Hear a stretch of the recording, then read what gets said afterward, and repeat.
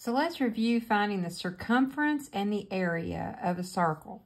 Now, when you go take your GED, and by the way, this is good GED, ACT, HiSET, just about any kind of standardized test is going to have a circle on it. And when you go to take your GED, you are supposed to get a formula sheet.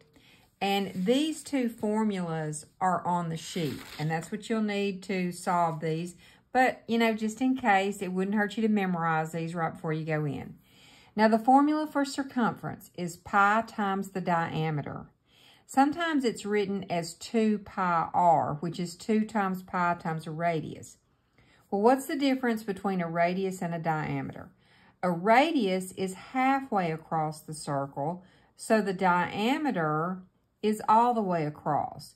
So 2 times the radius is the same thing as the diameter. If this is 10 inches, then the whole diameter is 20. So first let's find the circumference. That's going to be pi times either 2 times the diameter or 2 times the radius or the diameter, which is 20.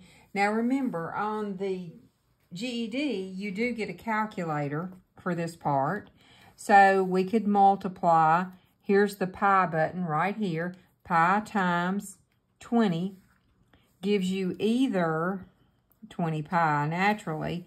Now, if you want it in decimal format, you hit the double arrow button down here, and it's going to give you 62.8. And we'll just stop there, okay? So there's your circumference.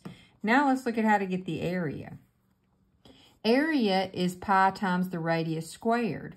Well, the radius is halfway, so here's your 10. So that's going to be pi times 10 squared, which is 100 pi.